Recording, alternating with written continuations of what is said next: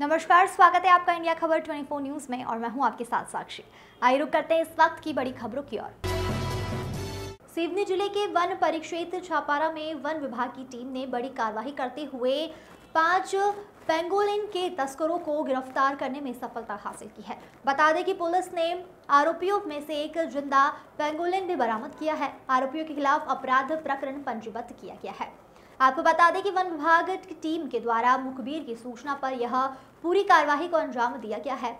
यह आरोपी कुछ लोगों के साथ मिलकर पैंगलिन का सौदा कर रहे थे। तभी सब वन विभाग की टीम ने मुखबिर की सूचना पर इनको धर दबोचा है।